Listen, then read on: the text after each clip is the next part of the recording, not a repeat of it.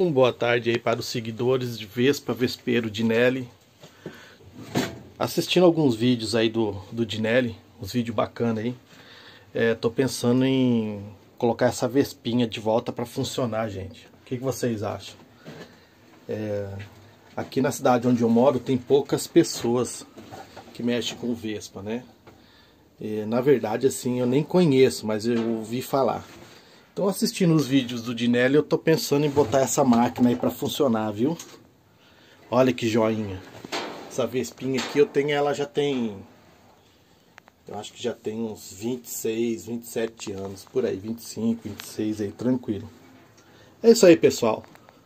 Quando eu começar a reformar essa Vespinha aí, eu vou mandar os vídeos aí pro Dinelli, beleza? Valeu! Um ótimo dia abençoado para todo mundo aí.